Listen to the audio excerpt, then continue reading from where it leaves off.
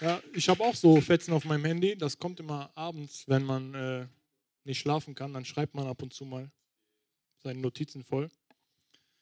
Früher konnte ich auch schreiben wie ein Wasserfall, Wort um Wort, Satz um Satz, nicht mal nachgedacht. Ich schrieb, was mir durch den Kopf schoss, mein Hirn verließ und genau in der Mitte mein Herz traf. Aber heute, während manche abends ihr Handy laden, kommen meine Gedanken nicht mehr zum Halten. Einmal angestoßen, hört es nicht mehr auf, Schritt um Schritt ein unendlicher Lauf.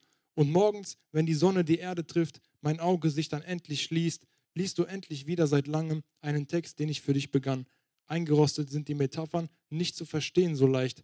Aber eins wollte ich nochmal sagen, du bist mein Leben, mein Königreich.